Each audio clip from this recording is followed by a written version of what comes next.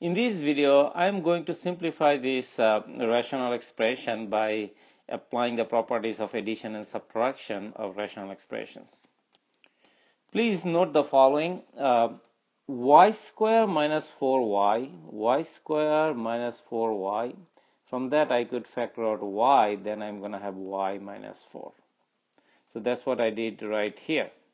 It's the same thing, but the denominator for the third term has been simplified.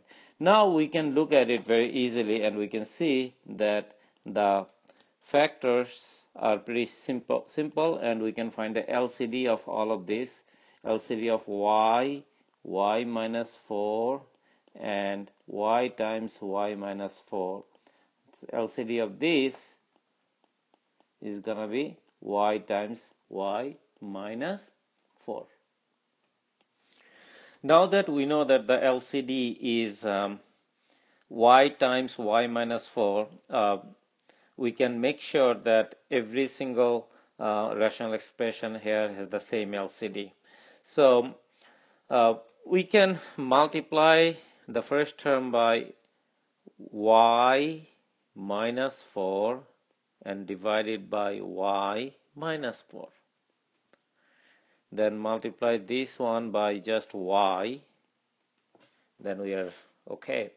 And this one already has the LCD now we have the same uh, LCD in the denominator for all of these rational expressions. Now we just need to simplify it. So 3 times 4 uh, 3 times y is 3y and then 3 times negative 4 is negative 12 here divided by y times y minus 4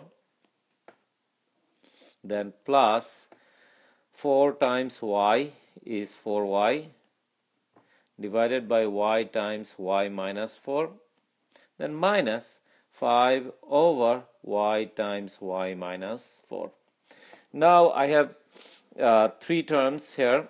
All of them have the same denominator. I can just combine them. Is gonna be equal to 3y minus 12 plus 4y minus 5 divided by y times y minus 4 which is going to be simplified further to 3y plus 4y is 7y negative 12 minus 5 is negative 17 divided by y times y minus 4 and that's by the way is our answer here. So this is what we get when we simplify this rational expression. I hope that this discussion was helpful. Thank you very much